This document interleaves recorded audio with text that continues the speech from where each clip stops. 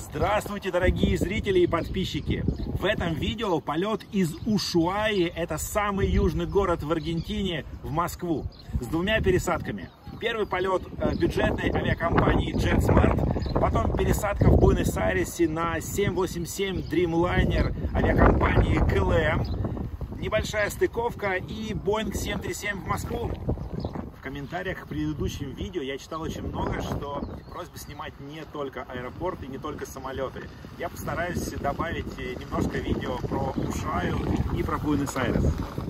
За моей спиной был аэроклуб и самолет DC-3. С него и начну. Это памятник, поставленный в честь двух похожих DC-3 военно-морских сил, которые доставили флаг Аргентины на Южный полюс в 1962 году. Конкретно этот самолет летал до 1979 года.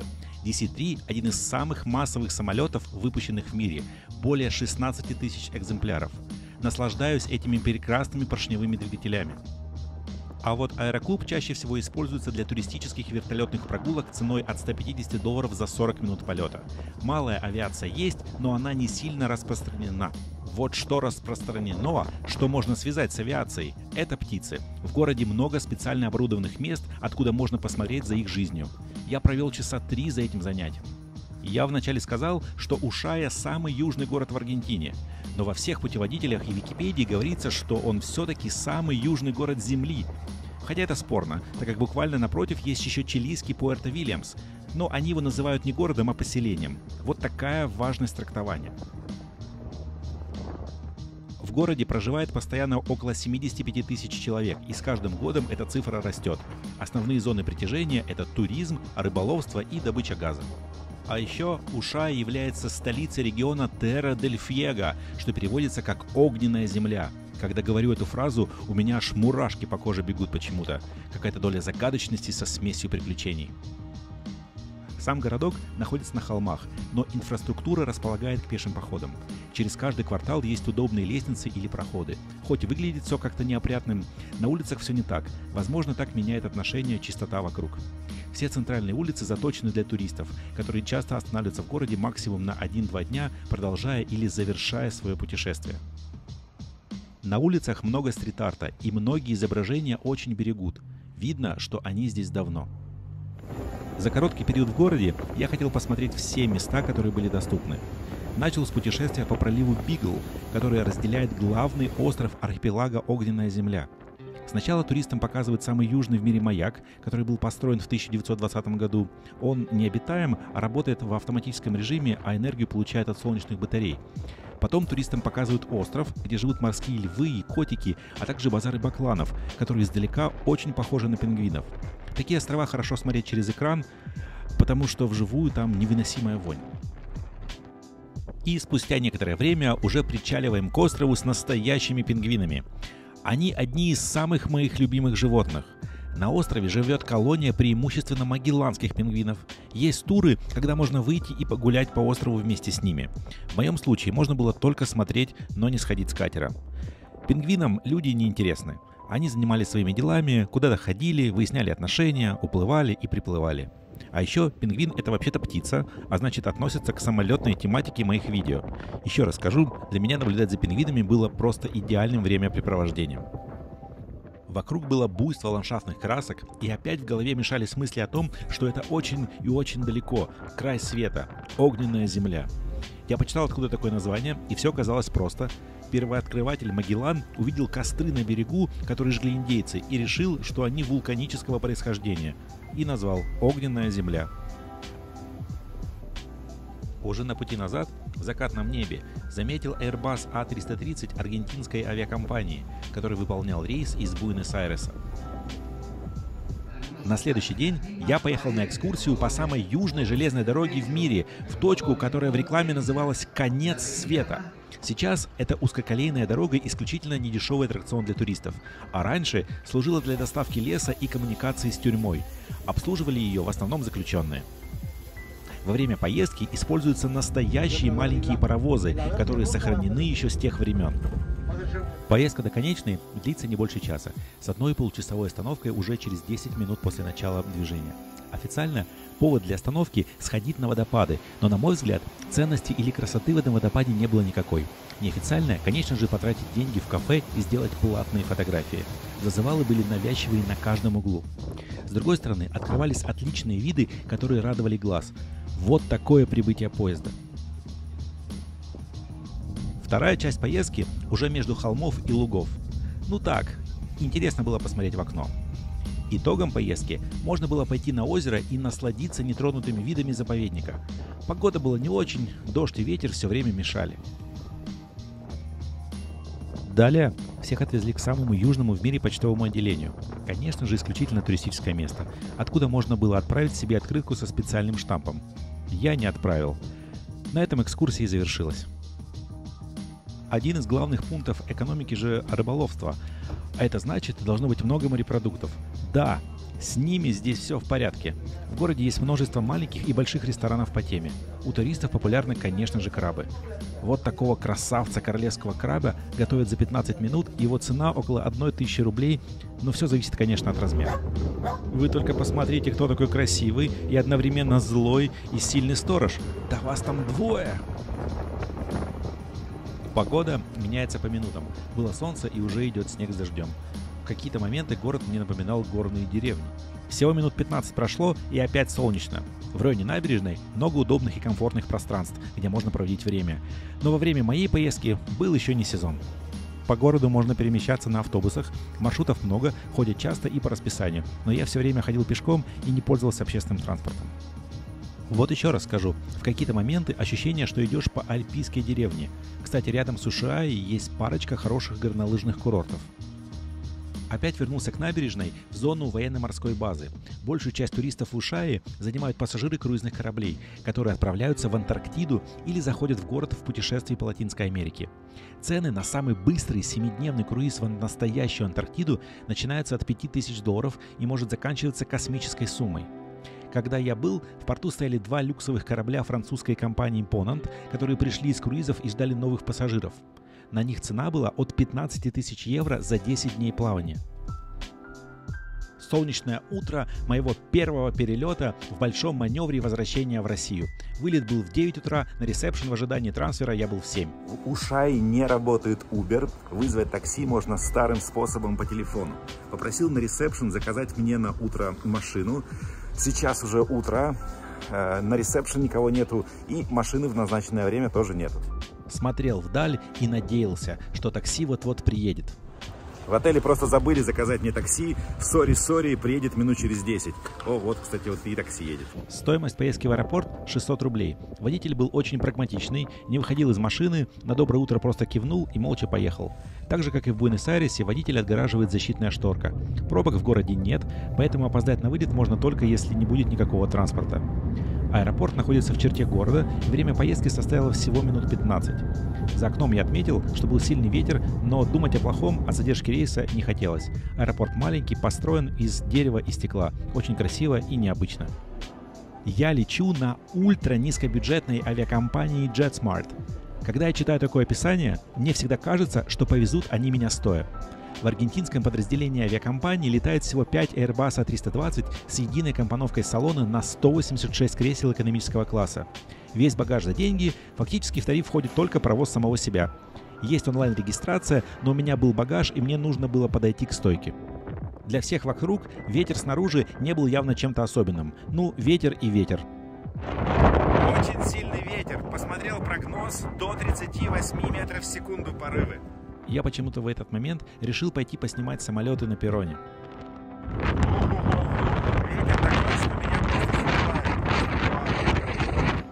Все-таки меня смущала сила ветра, но внутри на табло прилетов было написано, что самолет аргентинских авиалиний сел вовремя, а мой планируется также без задержки. В зоне регистрации есть небольшой магазин а-ля Duty Free со стандартом ассортиментов и два кафе, в котором продаются только невкусные бутерброды. Зона контроля пассажиров и посадки в самолет на втором этаже. В одно время улетает два рейса и работает всего один пост контроля. Конечно же, очередь стояла аж до другой стороны зоны регистрации. Сотрудники аэропорта с боем ускоряли пассажиров, которые вылетали более ранним рейсом. Непонятно, почему-то такое количество всего один пост. Зона ожидания посадки небольшая. Аэропорт, кстати, международный. Я видел в расписании рейсы аж из США. Скорее всего, везут пассажиров для круизов в Антарктиду. Есть одно небольшое кафе с минимальным набором закусок и пара магазинов с сувенирами. Некоторые сувениры были прямо на любителя, хотя пингвина фарфорового я бы себе купил. На перроне я видел только самолет аргентинских авиалиний, а мой стоял у следующего гейта, и снять его с зоны посадки не получалось. У JetSmart хитрая система посадки. Строго по рядам. Начинают с последних, вызывают по три ряда. Все контролируют. Я не сразу понял по-испански и пошел в первых рядах. Меня загнали в отдельную зону для ожидания, когда будет моя очередь. Не скажу, что эта технология как-то ускоряет процесс, потому что половина пассажиров опаздывала на свою зону и просили пустить их без очереди с другими. Зачем там было, нужно было устраивать весь этот цирк, все равно здесь все стоят?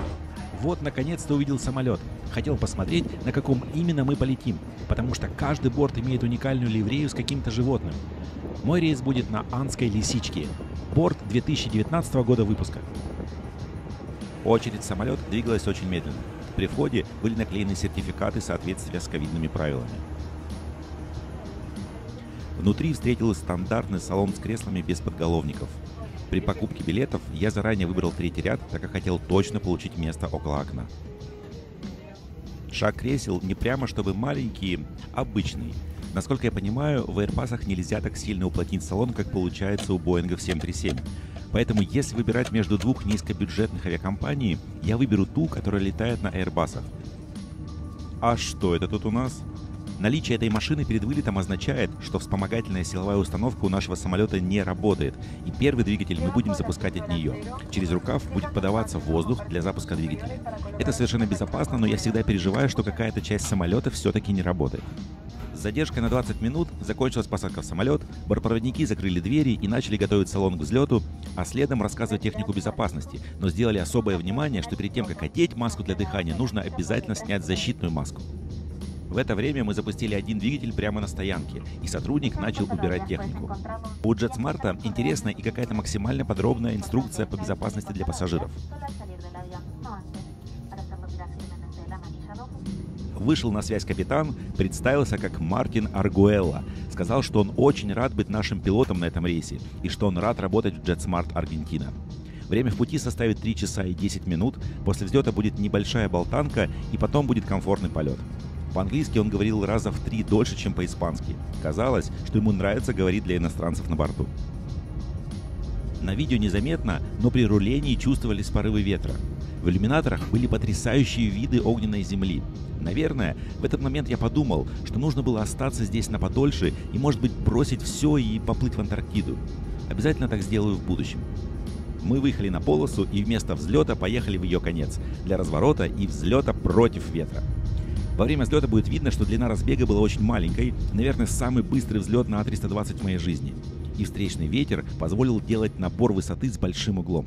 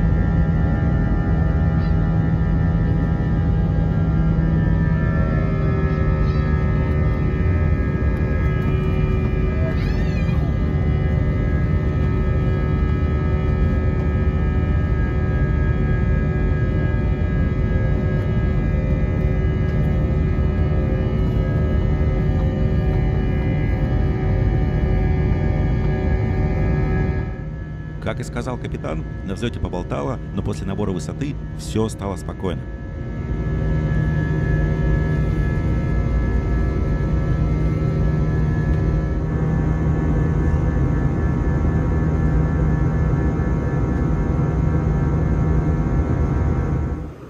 Пошел в туалет, и здесь меня ждал сюрприз.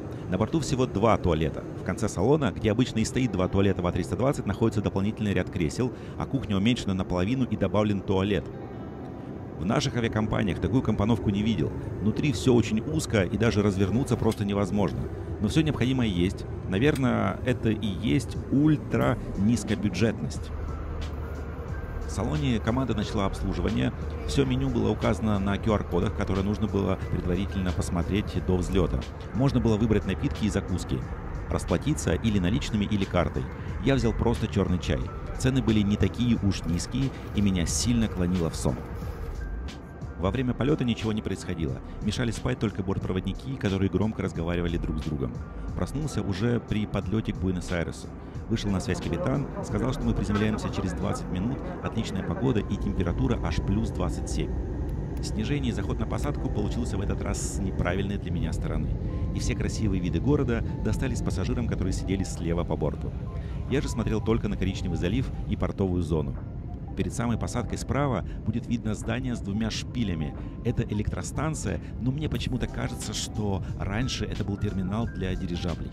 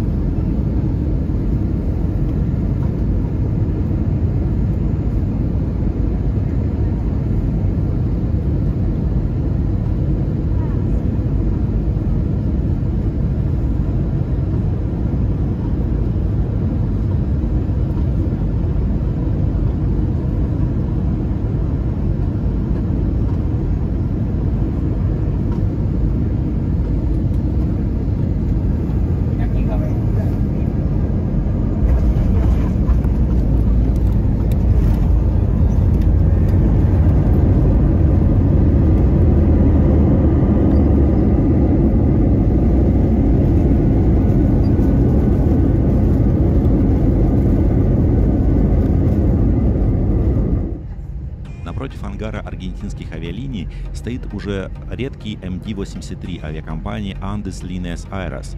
В интернете смог найти, что это чартерная авиакомпания, которая не летает с 2020 года. При заруливании на стоянку видел еще одного представителя аргентинских ультра-лоукост перевозчиков – авиакомпанию Flybondi. У них 5 Боингов 737, штаб-квартира в городе Кордоба, в основном летают на внутренних линиях. Она ставят на такую же стоянку, телетрап не положен, авиакомпания экономит на всем. В Аргентине тоже можно работать на перроне в шортах. Я уже говорил, что в России разрешается только в штанах, даже если на улице под 40 градусов жары и мы в Сочи или Краснодаре. Где-то вдалеке готовился к вылету ретроджет, на котором я летел из Гуасу в прошлом видео. Во время высадки все как у нас. Сразу же встали и давай стремиться к выходу быстрее всех.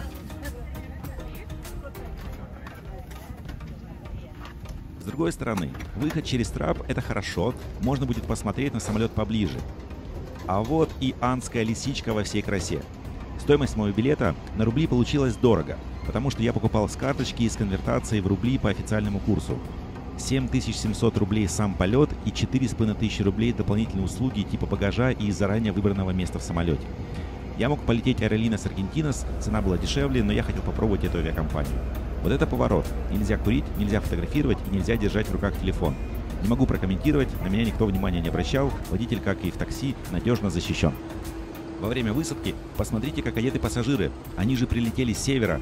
Ой, точнее, с юга. Мне нужно получить багаж, потому что мой следующий рейс из другого аэропорта. В отличие от Ушуаи, где было 2 градуса тепла, в Буэнос-Айресе плюс 26. Получаю багаж на такси в отель и завтра утром в международный аэропорт. В 9 из 10 случаев мой багаж приезжает последним.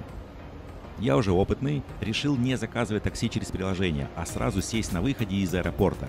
Стоит очередь, водитель включает официальный счетчик при посадке в машину. Никто, конечно же, не говорит по-английски, поэтому адрес отеля показал с телефона. В 2 часа дня я уже ехал в отель. Мой рейс в Амстердам вылетал на следующий день в 11. У меня нарисовывался целый вечер в моем любимом городе. Я открыл окно в такси и наслаждался поздней весной. Предлагаю и вам посмотреть.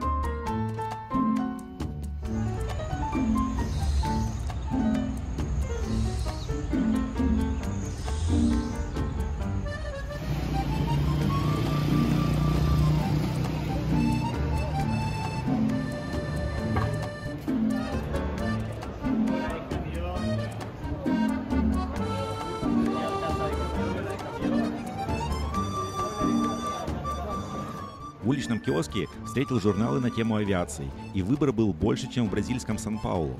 Рад, что жители интересуются этой темой. Аргентинцы очень ответственные. Вот есть правило, что нужно соблюдать дистанцию, значит все будут ее соблюдать, даже если эти правила не всегда выглядят адекватными. Мусор в городе убирают не только коммунальные компании, но и множество людей, которые собирают буквально все, сортируют и сдают на переработку.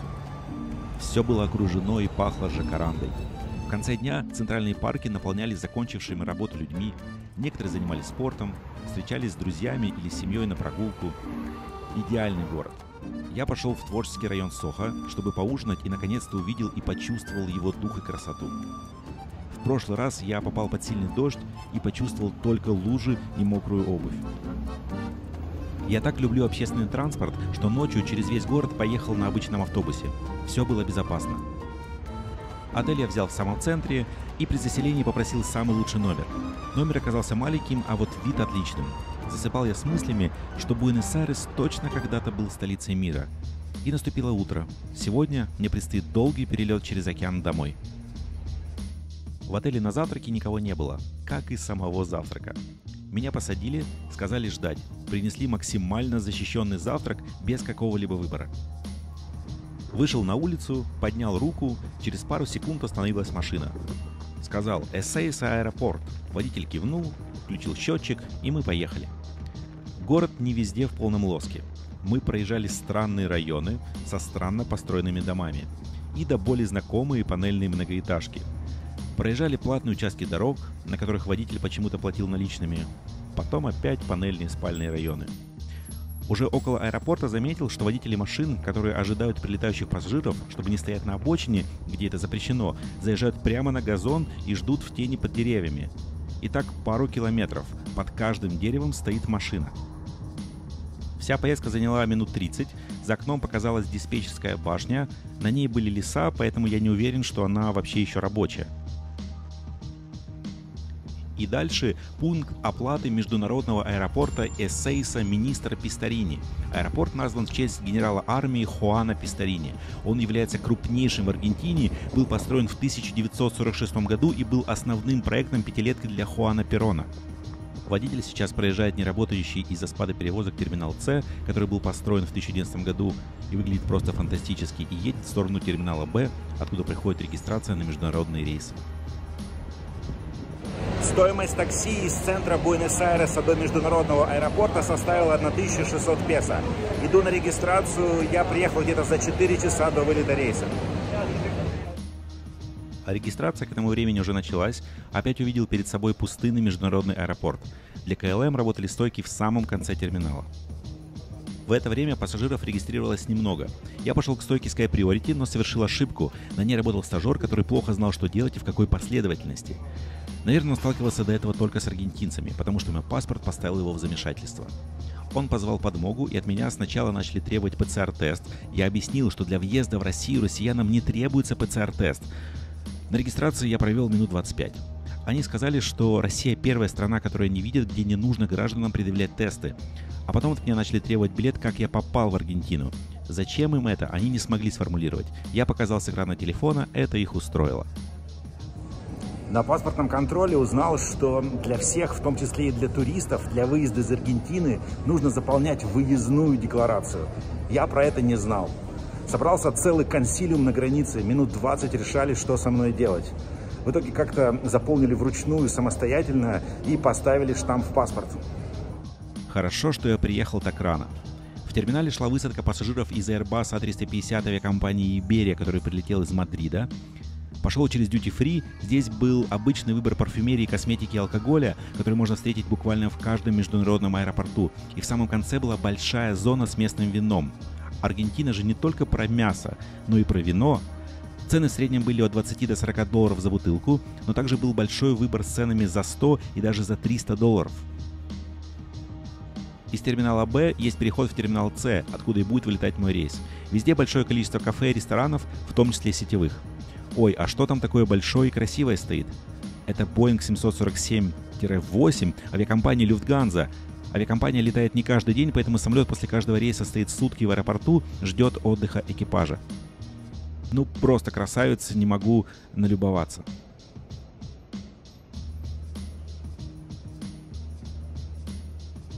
Около каждого кресла можно найти розетку с аргентинской вилкой и обычную USB. И как в аэропарке, эту радость для детей можно взять совершенно бесплатно. Я уже сказал раньше, мой вылет из терминала С, кажется, выход номер 10. Пошел поближе к нему. А вот и мой мечталет. Boeing 787-9 Dreamliner 2017 года выпуска. Носит название «Ромашка». Все Боинги 787 KLM называют в честь цветов. Любит, не любит, полетели через океан. В оставшееся до вылета время пошел в бизнес-зал по золотой карте Аэрофлота, так как KLM входит в альянс SkyTeam. Авиакомпания использует зал Aerolíneas Argentinas. Внутри было очень уютно и сразу на входе очаровала коллекция самолетов авиакомпаний, входящих в Альянс. Жаль, но Аэрофлота не было. Аэрофлот, кажется, никогда не летал в Буэнос-Айрес, даже в советские времена с пересадками. Внутри все скромно. Половина кресел была перегорожена для соблюдения правильной дистанции. Была еще комната с игровыми приставками, и она тоже была закрыта. Выбор еды был скудный, и только в таком формате, когда тебе накладывают. Никакого шведского стола. Дополнительным барьером был официант, который не знал английский и нужно было общаться жестами. Был небольшой выбор вина и крепких напитков. Я успел поесть в кафешке сразу после паспортного контроля и только взял чай и кекс. Чай самый дешевый, налили в пластиковый стаканчик авиакомпании. За час до вылета пошел на посадку. У соседнего выхода стоял А330-200 авиакомпании Level, который прилетел из Барселоны по рейсу Иберия. Около выхода уже было много пассажиров, и агенты объявляли, что уже вот-вот начнется посадка.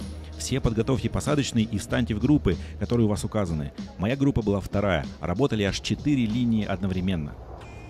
Это мой второй в жизни полет на лайнере мечты. Первый был на 7878 катарских авиалиний из Дохи в Бангкок несколько лет назад. Внутри конфигурация кресел 3, проход 3, проход 3. За бизнесом идет премиум эконом, у них идентичные кресла, но больше расстояния между рядами, а также чуть-чуть лучше кормят. Расстояние позволяет легко закинуть ногу на ногу. А далее простой классический эконом. Есть еще ряд с аварийным выходом, но он не совсем удобен, на мой взгляд, для такого длинного перелета. У меня место в хвосте самолета, и так получилось, что на следующем ряду очень неудачно расположен иллюминатор. Хорошо, что я его не взял. На всех креслах лежат пледы. Слева появился еще один дримлайнер авиакомпании United, который прилетел из Хьюстона. И вот, это мое место на ближайшие долгие почти 13 часов. Хорошо, что с индивидуальным монитором. Обещают, что будет работать в полете Wi-Fi. О-оу, с моим ростом такое расстояние – это беда. Хоть шаг кресел и не очень большой, но кресло какое-то удобное. Оно утопленное, э, такая мягкая подлог, подголовник и очень большой э, угол наклона. Для комфорта еще есть удобный столик и видавшие виды печатные материалы. Инструкция по безопасности и бортовой журнал – Выглядит так, как будто предыдущие пассажиры зачитывали их до дыр. Вдалеке появился А330 аргентинских авиалиний. Я хотел на нем полететь из Ушаи вместо JetSmart, но решил, что уже будет перебор с полетами на Aerolines Argentinas. А вообще в этот момент я почему-то подумал, что хочу побыстрее домой. Стало жарковато, посмотрел наверх, и вот КЛМ не заказала опцию индивидуального обдува, только индивидуальные лампы. На связь вышел капитан, представился Дэнни Хаас, сказал, что лететь нам около 12,5 часов и что работает сегодня аж 4 человека в кабине пилотов. Пожелал счастливого полета и был таков. Старший бортпроводник была еще веселее, сказала дословно «Я не хочу вам желать хорошего полета, я хочу вам пожелать идеального полета с КЛМ, и мы все сделаем для этого». Нас уже отбуксировали, мы начали запуск двигателей и тестирование органов управления. Завораживают зрелище. Потом начался выпуск механизации крыла. Уже во время руления два бортпроводника проходились по салону, проверяя безопасность, и одновременно успевали шутить с пассажирами типа «Мы летим в Амстердам, а вы?» или «Мне кажется, вы ошиблись креслом, ваше место в кабине пилотов». Это было очень и очень мило. Перед взлетом пропустили еще один римлайнер авиакомпании American Airlines, который прилетел из Далласа.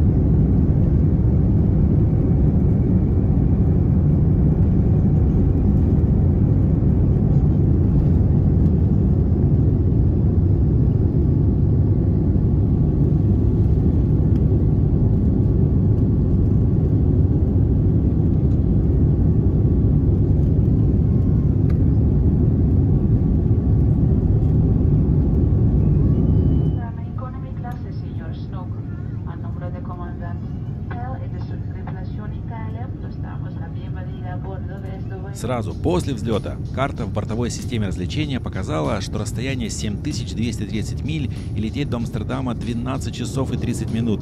Самолет очень долго набирал высоту. Очевидно, что из-за полной загрузки топливом, пассажирами и грузом. Через минут 30 погасло табло «Застегнуть ремни» и сразу же команда раздала воду и спиртовые салфетки. Как и на другом рейсе КЛМ, по салону пошел стойкий алкогольный запах. Дополнительно разнесли наушники и еще два вида санитайзеров в виде салфетки и геля. Попросили всех обязательно обработать гелем руки. В этот раз на каждом ряду работало 4 бортпроводника, поэтому питание было предложено очень быстро. На выбор была курица с рисом и равиоли с овощами. Я взял равиоли. По вкусу отлично, горячий и очень вкусный сыр. Еще небольшая порция салата и десерт.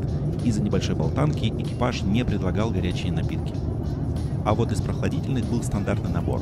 Из алкоголя только красное или белое вино. За окном уже началась Бразилия, но облачность закрывала все, что происходит внизу и где мы прилетаем. Хотелось увидеть джунгли Амазонки. А вот и другая сторона широкого угла наклона спинки. Когда впереди пассажир решил поспать, места для маневра у меня осталось катастрофически мало. Кстати, мне в дримлайнерах и нравится, и не нравится такой метод затемнения иллюминатора. Удобно, что можно самому регулировать уровень, а неудобно то, что в любой момент экипаж это может сделать централизованно. Когда затемнено на максимуме, все еще различимы черты объектов снаружи, но внутри полная темнота.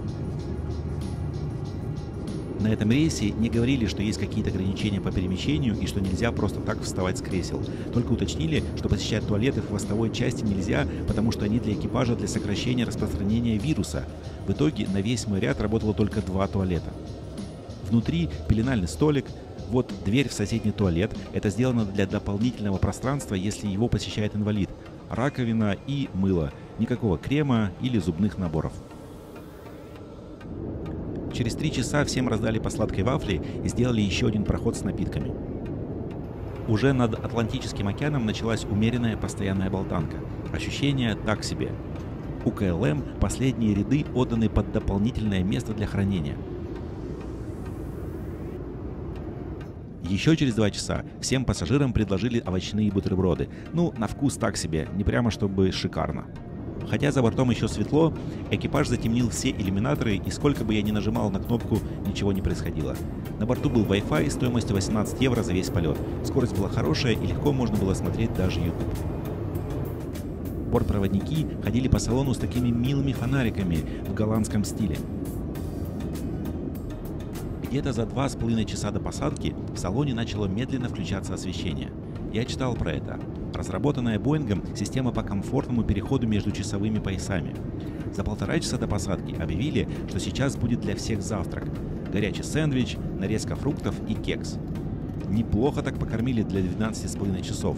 Я точно был сытый и завтрак ел уже с неохотой. Команда, к сожалению, констатировала, что двойной туалет посредине салона сломался, и теперь можно воспользоваться туалетами в хвосте самолета, которые раньше были только для экипажа. Вышел на связь капитан, сказал, что мы прилетаем раньше планируемого времени и, вероятно, придется чуть-чуть постоять на стоянке, потому что сотрудники еще могут не успеть прийти на работу. Пожелал прекрасного дня и отличного полета дальше всем трансферным пассажирам. Перед самой посадкой команда опять ходила, проверяла безопасность и шутила в стиле «О, вы не пристегнуты? Мы тогда вынуждены развернуться и полететь обратно».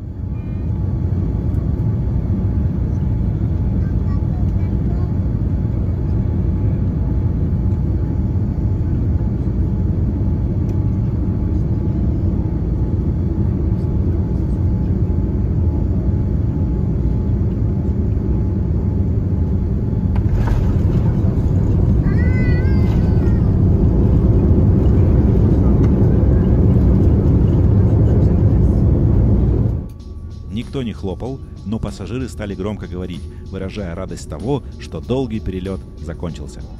После выключения двигателей пассажиры в лучших традициях встали в проходах и начали ждать выхода. На экранах пошли промоционные ролики KLM, и было необычно видеть в них людей без масок. На момент полета требования по их ношению были строгие, и я уже привык, что все вокруг с ними. Если мне задать вопрос, какой я тип самолета бы выбрал у KLM, 777 или 787, я отвечу, что три семерки. В нем как-то больше пространства, и впереди стоящее кресло не мешает на максимальном угле наклона. До моего следующего рейса было 5 часов. Я не выходил в Нидерландах, а остался в трансферной зоне, для которой не требуется никаких тестов и виз. Всех прилетающих пассажиров, у которых есть следующие рейсы, просят пройти еще раз контроль безопасности. В Амстердаме 5 утра, а в моей голове была полночь по Аргентине и единственное желание – где-нибудь заснуть.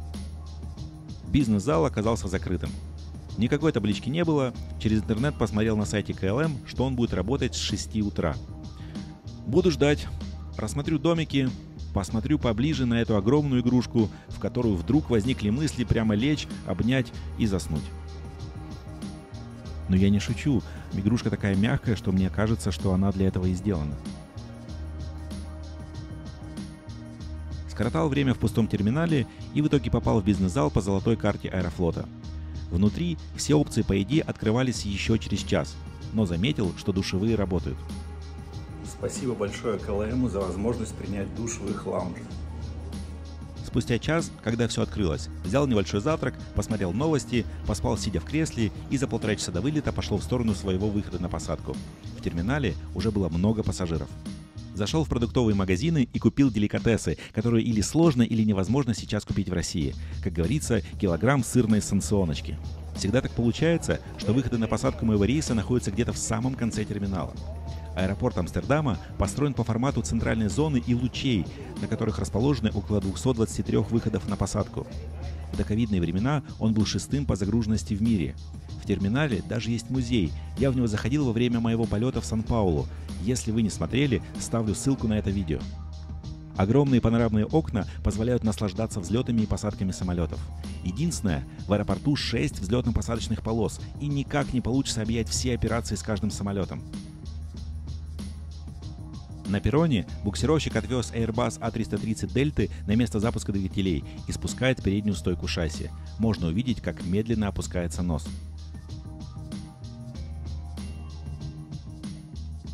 А вот и борт, на котором я полечу в Москву. Boeing 737-800 2008 года выпуска, который носит собственное имя «Сова». Если 777 у КЛМ носят название парков, 787 цветов, то 737 – птиц. За час до вылета пришел экипаж. Они заходят в самолет по тому же пути, что и пассажиры. Каждый из них достает бейдж и показывает сотруднику на регистрации. Они смотрят и пропускают. Два пилота зачем-то остались подольше и что-то уточняли около компьютера. Отметил, что оба пилота были высокими и молодыми. Внутри обычный 737 со старым, но приятным салоном, но без подголовников. Я взял себе второй ряд эконома, чтобы побыстрее выйти из самолета в Москве. Он еще оказался с увеличенным расстоянием между креслами. Вышел на связь капитан, сказал, что в Москве очень плохая погода в виде сильного ветра и снега, но надеется, что все пройдет хорошо и когда мы прилетим, сможем безопасно произвести посадку. К этому моменту нас уже начали буксировать на точку запуска. Проехали мимо самого маленького Airbus A318 румынской авиакомпании Tarom, который готовился улететь в Бухарест. Во время руления встретилась еще одна румынская низкобюджетная авиакомпания Blue Air на Боинге 737-800. А потом был Airbus A319 авиакомпании ITA, но в ливреи обанкротившейся Алиталии. Они еще не успели перекрасить все свои самолеты. Как вы уже, наверное, слышите, рядом со мной, конечно же, сидит ребенок. На взлетной полосе взлетал 737 туристической авиакомпании TUI, который полетел на Тенерифе. Ветроуказатель был практически полон, а это значит, что скорость ветра была сильной. В Википедии написано, что полное раскрытие соответствует 28 метрам в секунду. Перед самым взлетом появился аэрофлотовский 777-300ER, который вылетал регулярным рейсом в Шереметьево.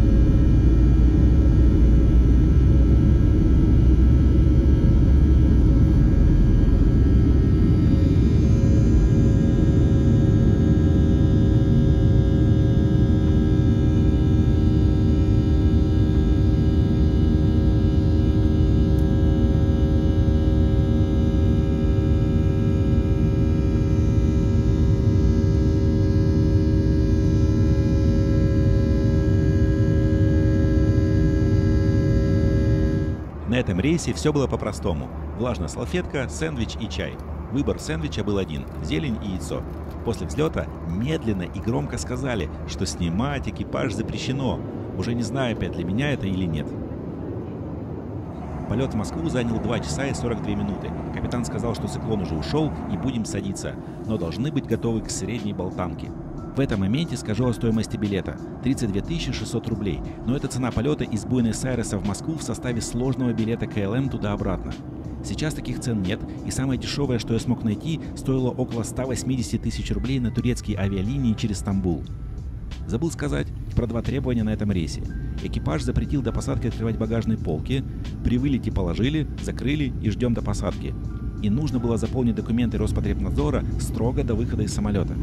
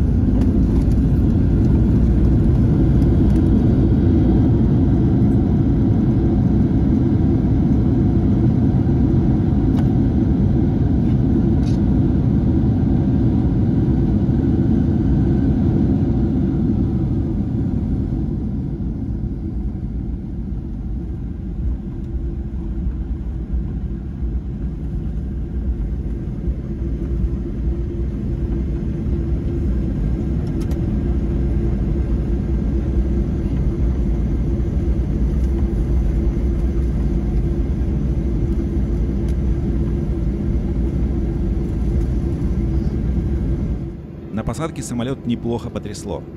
«Привет, Москва! Давно не виделись. Во время заруливания увидел Airbus A330 Air France. Нечастый гость, обычно они летали на 320-м семействе. И множество самолетов у сейчас временно закрытого терминала D и E. Поставили нас у терминала D рядом с А330-300 Аэрофлота, который этим же вечером отправился в Казахстан в город Нур-Султан. Сидел в начале самолета, поэтому вышел быстро и через минуту заходил в зону паспортного контроля, в которой работали практически все кабины, и границу я прошел за 30 секунд. Я не делал заранее код на госуслугах и заполнил анкету в самолете. Сотрудники Роспотребнадзора в этот раз не проявляли вообще никакого интереса к процессу. Хорошо, что это все закончилось. Яндекс сделал удобную опцию у терминала D. Можно сразу же сесть в такси, которое стоит около входа, забронировав через приложение. Цена не отличается, но можно брать только определенный класс. Надеюсь, идентично сделают и в других терминалах. На улице была плохая погода, и все мои мысли были уже об Аргентине. Спасибо большое, что вы посмотрели мое видео.